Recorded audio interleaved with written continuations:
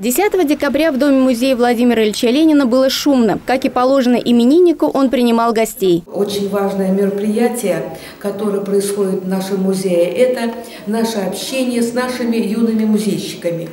Э, уже давно, э, более 10 лет тому назад, был создан музей э, семьи Ульяновых в школе 21 нашего города. И на протяжении всего этого времени мы сотрудничаем, организуем совместные мероприятия, реализуем совместные проекты и стараемся, чтобы наша деятельность исходила из тех традиций, которые были в семье Ульяновых.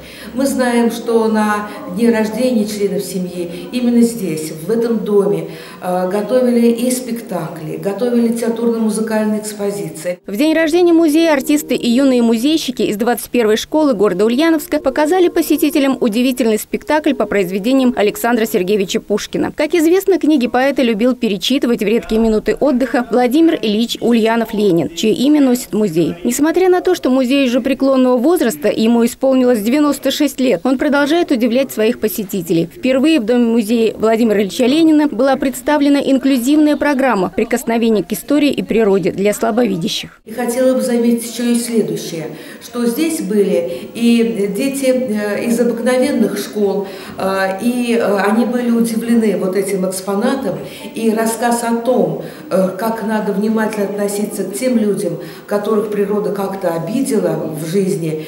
Один мальчик так и сказал, я теперь всегда буду переводить дорогу, помогать переходить дорогу именно детям, детям, которые плохо видят. Я думаю, что это главная наша заслуга. В рамках программы, реализованной Домом-музеем Ленина при поддержке Министерства искусства и культурной политики региона, посетитель сможет своими руками изучить письменные принадлежности директора народных училищ Ильи Ульянова, рисунок Ольги Ульяновой и даже копию самого Дома-музея. А знакомый со шрифтом Брайля прочесть сочинения младших Ульяновых. Все модели изготовлены при помощи специализированного оборудования. Ирина Антонова, Улправда ТВ.